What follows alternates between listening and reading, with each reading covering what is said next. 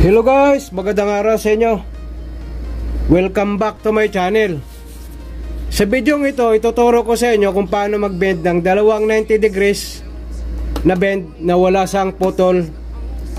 Pag nagbe-bend kayo ng cable tray yung sakto sa, sa support to support. Halimbawa may nilagay na kayo na support nag-welding na kayo ng support ilalapag nyo na lang paano ba mag-bend nito na yung sakto sa, sa support to support. Na paglapag mo yung saktong sakto sa kagaya nito.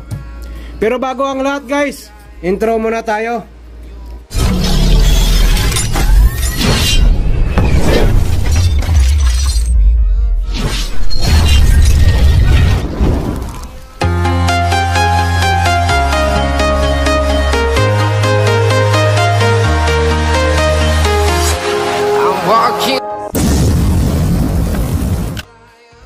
Ngayon guys, itutuloy na natin ito.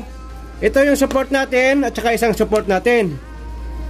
Pero dito, hindi nyo pa niya makuha kung saan kayo magsusupport pag naglalagay kayo ng support. Kailangan dito lang muna yan, tsaka dito. Ito sa ay horizontal na bend, hindi sa naka-vertical na ang vertical pataas pa ganon. Pag naka-horizontal, pag ano na siya. Halimbawa, ito sa ay, halimbawa ito yung ballpen natin, pag nakatayo, ito sa ay vertical. Yan. Pag nakaganito naman, yan ang horizontal. Kaya ganyan, halimbawa ganyan. Kaya ito, horizontal bend ng cable tray natin. Bago tayo magsimula sa pagbikat, dito muna tayo sa formula, baka may mga baguhan. Ang formula natin, 4 bikat, formula 4 bikat, size of 3 times 0.80 equals, yun ang bikat mo. Ngayon, ito tuturo ko lang sa inyo kung paano yung sa bikat. Bali, ito is a 50 by 50. Kaya ang ano natin ito, yung ibibikat natin ito is 4 uh, cm or 40 mm. Ngayon, mag-upisa na tayo dito para ma- ma-bend natin ang kagaya nito na pag-bend. Ngayon, paano nyo ba makukuha ito guys? Dito muna tayo sa paano nyo ba makukuha ito. Ang gagawin nyo guys, pag halimbawa may support na support kayo, yung distance nito, yan, halimbawa nagmarka kayo niyan kung dito nyo ilalapag, dapat yung distance nito ng ano nyo, yung support nyo, may ano kayo dito sa dulo by dulo. Halimbawa, ito yung ibig ko sabihin yan. Yung distance nito, at saka dito. At saka dito. Yung gilid ng tray nyo, at saka gilid ng dulo ng support nyo. Yan, ito at saka ito. Dapat huwag kayong magsagad. Dapat may pasobra kayo. 10 cm. Kasi may sa clamp pa. Yung clamp nyo, mas maganda talaga guys, 10 cm.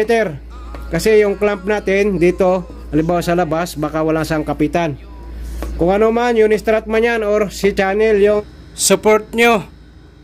Ngayon, paano nyo ba makukuha ito? Ito yung gagawin nyo guys. Ito yung gilid nito.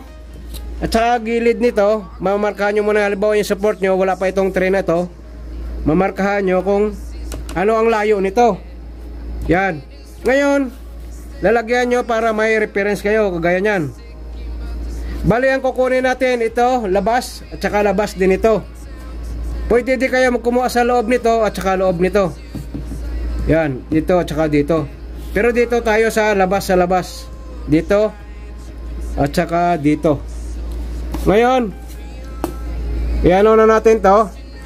Sukatin natin. Sa labas nito.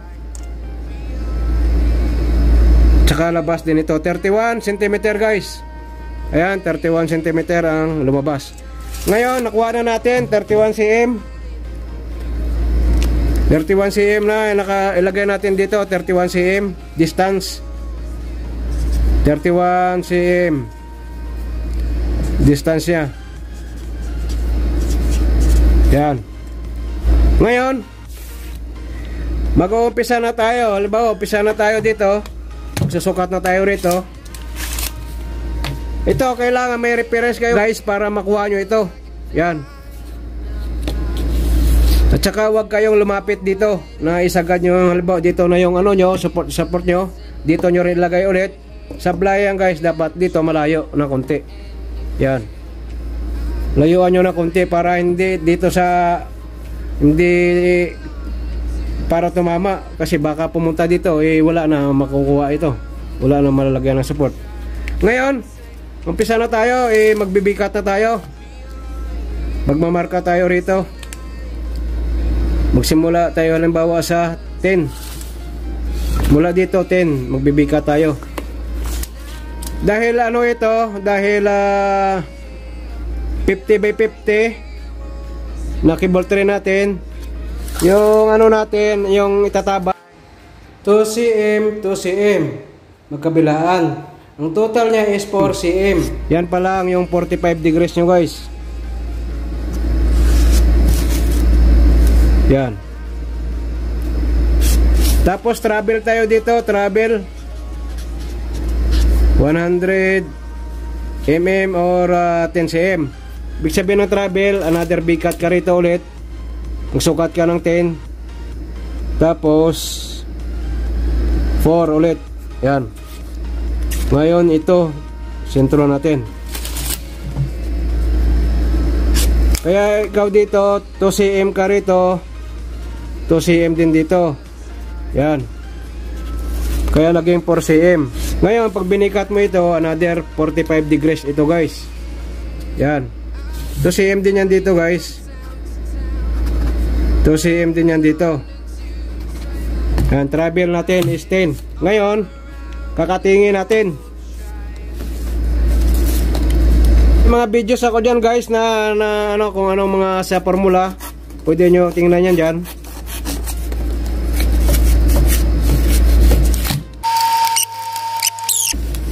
Lagyan lang natin ng masking tape.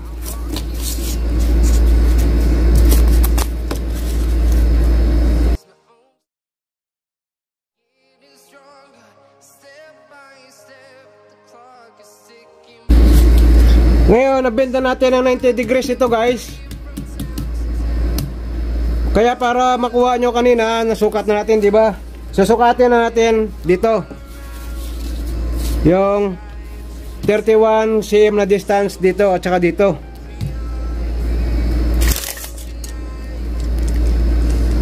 Thirty-one cm. Tapos mamarkahan natin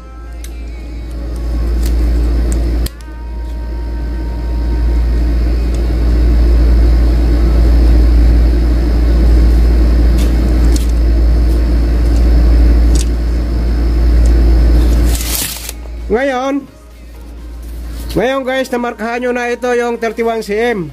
Halimbawa, ito yung cable tray nyo. Pero ito yung cable tray natin ay karton lang para 10 lang ito.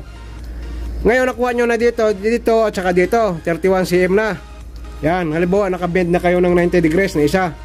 Ito yung travel nyo, 100 mm. Ngayon, dahil ah, ang travel natin is 100 mm, yung actual nyo na sinukat dito mula rito, actual mula rito, ima-minus nyo ito sa travel nyo. Nakuha nyo guys. Ang 31 cm dito, centimeter, ima-minus nyo sa travel nyo. Kaya ang gagawin nyo, minus 10. Buguhit kayo ulit ng 10. Pababa, papunta rito. Yan. Minus natin yung 10.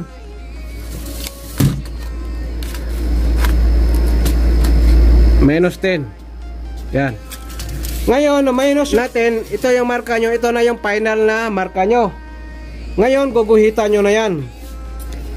Guguhitan nyo na yan.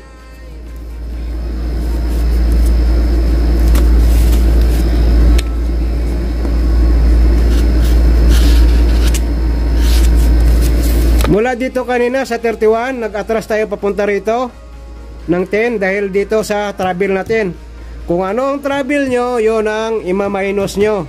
Halimbawa, nag-travel kayo ng 15, actual length, actual length dito, pagsukat nyo mula rito, tsaka dito, i-minus nyo ng 15 or sa travel kayo magbabase. Ngayon, pag na-minus nyo na, pag na, ano nyo na ito guys, pag na, namarkahan nyo na ito, ang gagawin nyo, ito ang sentro ng bikat nyo. Ito sentro.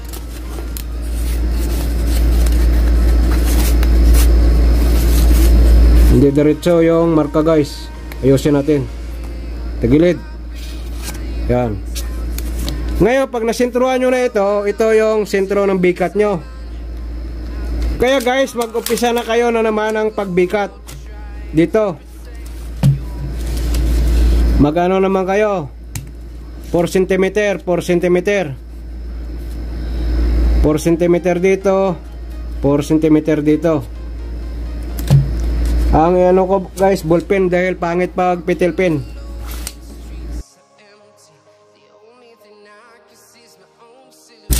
Ito yung gitna nyo. Gitna nyo yan guys. Pag nagmarka kayo, hindi sa gilid ha. Gitna.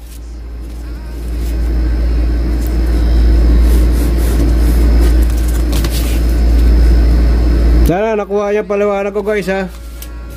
Mula dito sa actual length natin dahil nagsuka tayo mula rito at saka dito gaya din ito. Yan.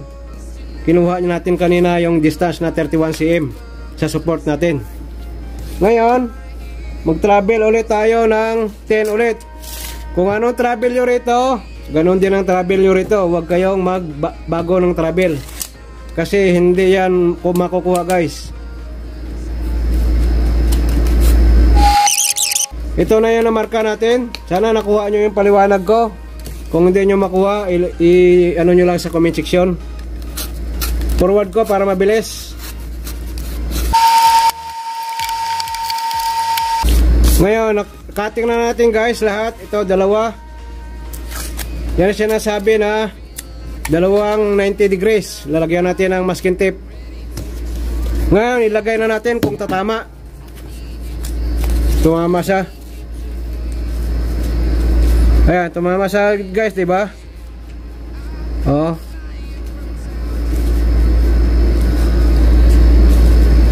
Tumama siya sa ano natin, bending. Yan ang ano. Yan. 'Di ba tumama siya? Yan. Ganun lang yan guys. Kung ano yung ano nyo. Yung pag nakuha nyo na yung rito at saka dito. Yung sinabi ko sa inyo yung distansya nito. Nung lalapagan nyo ng support, yung support nyo at saka support nyo dito. Ima-minus nyo yung travel nyo. Kagaya sa ginawa ko kanina, yung in-explain ko kanina.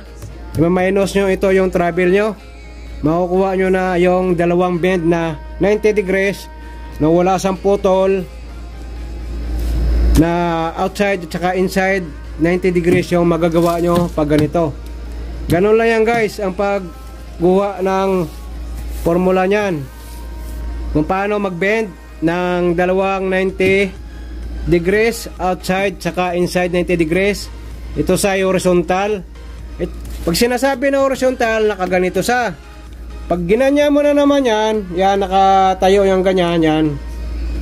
Nakaganon. Albo, nakaganyan siya. Yan. Pataas. Yan ang vertical. Kaya ito, horizontal na 90 degrees, double bend na 90 degrees natin. Sana guys, nakatulong ito yung video ko sa mga baguhan na nanonood. Kung may gusto kayong itanong sa comment section, ilagay nyo lang dyan sasagutin natin hanggang sa makayanan natin. Ginagawa ko lang to lagi na 50 by 50 na cable tray dahil hindi sa mag ano sa ano natin dito sa demo natin kung paano i-bend ito. Pero pag magagawa nyo yan, pag halimbawa actual na cable tray na ang gagawin nyo, tatabasin nyo, magagawa nyo na yan guys. Tapos pag na-bend nyo na yun ito guys, nagawa nyo na ng ganito, lagyan nyo ng, ihahangin nyo muna ito, yung dito banda, ito at saka ito, para malagyan nyo rin siya ng support. Gaya nito, magdagdag na kayo, may bibitinan kayo, yan. Another support ka naman dito, another support ka naman dito, kagaya nyan. Para matibay yung cable tray nyo. May mga cable tray tayo na perforated tapos yung ladder ganyan yan saka na lang yung additional nyo na support nyo pag nalapag nyo na rito kasi pag wala pang ganito hindi nyo malagyan ng ganito guys na isaktong tatama sa rito sa support natin dito lang siya tatama ayan Yun lang ang formula guys. Sukat lang dito, makukuha nyo na ang dalawang bend nito. Sige guys, salamat sa panonood. Ingat kayo lagi kung saan kayo naroon. Hanggang sa muli.